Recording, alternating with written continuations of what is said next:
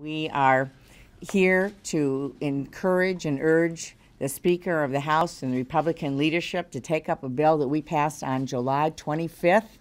Uh, this past July that would continue, would make sure that middle class taxpayers have tax cuts this next year.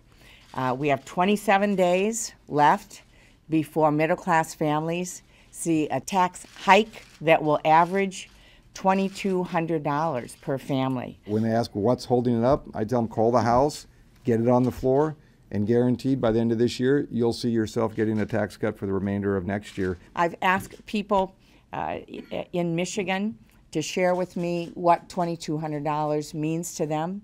Uh, one constituent said that that's four months of groceries for her. Four months of groceries for her family. That's a big deal, four months of groceries. And we were figuring out okay, well, uh, gallons of gas to go back and forth to work.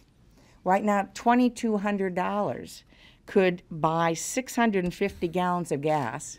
And for the average commuter, they could go back and forth to work for three years. Two thirds of the American public agrees with us, but you don't need to take their word for it either.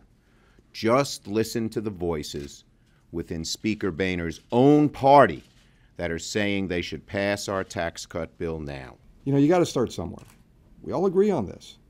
They just don't want to use the procedure to allow their own people to vote on it. In essence, they're holding the American people, the middle class, hostage for small issues that they want to continue to fight over and over again and play the press war. Why wait 27 days? Keep middle class families on the hook trying to figure out what's going to happen next year. Why not just do it now? A tax hike on middle class Americans should be taken off the table and taken off the table now.